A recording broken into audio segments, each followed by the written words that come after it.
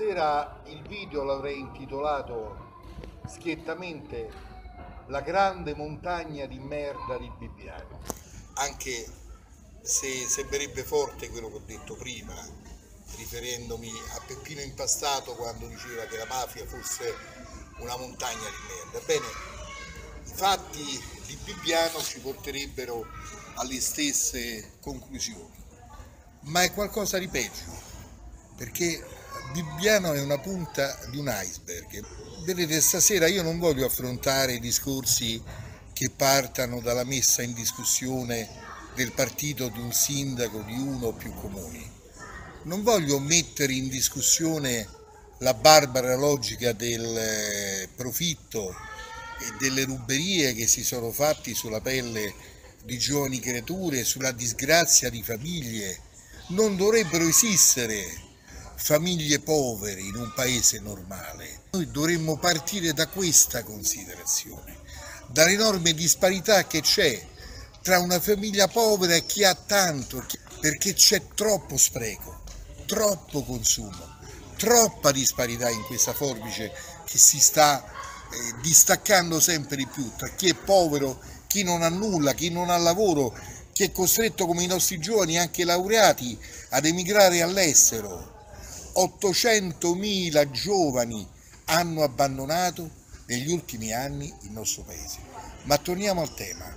Voglio invece portare l'accento sull'attacco all'uomo sapiens sapiens che i poteri ordoliberisti stanno conducendo da qualche anno, forse questo già stava negli anni 30 quando c'erano i primi fenomeni, quello che sarebbe stato poi la ricerca della superrazza e tutte le altre cose barbare del nazismo.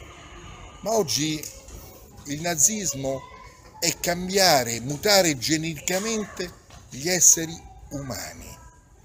Questa è una battaglia di civiltà. L'affare bibbiano ha a che fare con una scelta campale, una scelta ideologica, un dramma profondo che ha a che fare con la distruzione della famiglia, non la famiglia vetera, ci può anche essere una famiglia con genitori che si separano dopo pochi anni. I, costumi stanno cambiando, ma la famiglia comunque, anche allargata o quella che sia, rimane un'istituzione sociale. Ebbene, questa istituzione sociale non è concessa di fatto in alcune zone d'Italia in meno ambienti. Guardate che io ho fatto una ricerca, ma stiamo parlando di migliaia e migliaia di affidi strani, non per casi eccezionali, andiamo a documentare le cose. Ecco perché noi dobbiamo parlare, non per fare un bar dello sport tra chi è pro e contro. Per prima cosa noi dobbiamo chiedere la verità su tutto quello che succede. Dobbiamo respingere questo attacco barbaro alle nostre radici, al nostro futuro, alle nostre generazioni e alla famiglia.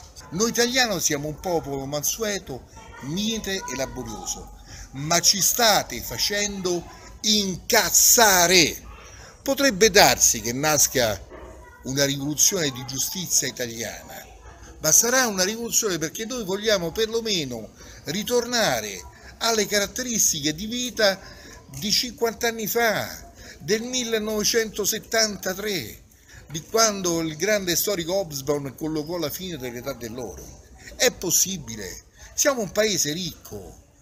L'articolo 1 della Costituzione fondata sul lavoro, la Repubblica Italiana, fondata sul lavoro, deve dare lavoro dignitoso, servizi sociali dignitosi e proteggere la famiglia. Non ci devono essere famiglie povere. Non si può levare i bambini a delle famiglie per affidarli a no, non si sa che cosa. Una famiglia composta di un uomo e una donna. Può finire, può andare avanti, può essere una famiglia allargata, ma è fatta di un uomo e di una donna. Ognuno è libero in questo paese di esercitare nel miglior dei modi la propria affettività, la propria sessualità, ci mancherebbe altro. Lo dice una persona che ha sempre combattuto dalla parte dei lavoratori e dei diritti sociali dei più poveri e degli oppressi, anche dalla parte della vera Africa sfruttata, che non è l'accoglienza pelosa che diamo agli extracomunitari, perché pure, pure gli immigrati sono ostaggio come i bambini di Bibbiano o altri. In Africa dobbiamo lasciare in pace gli africani e non dobbiamo sfruttare quei continenti per trarne il coltan, il petrolio e altre cose. Questa è la verità che nessuna sinistra, che nessun sepolcro imbiancato vi dice. E qui dobbiamo creare una situazione sociale di welfare e garanzia per tutti. La distruzione della famiglia per creare le api operai o le formiche operai e solo l'ape regina oppure la famiglia soltanto per i più eletti è un mondo disumano. Non scherzate con i sentimenti del popolo italiano. Ricostruire la verità.